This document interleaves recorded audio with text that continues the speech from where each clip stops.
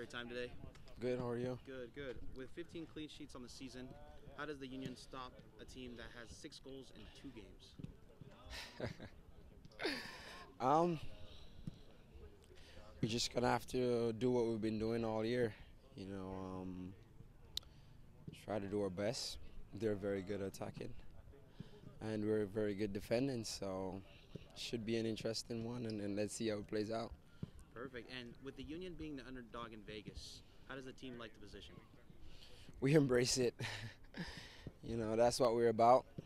You know, um, and we're gonna embrace it. We're gonna come here. We're gonna have fun, and um, it's a great moment. And let's see how it plays out. Perfect. Can we get a go Union for all the fans? Go Union! Let's go.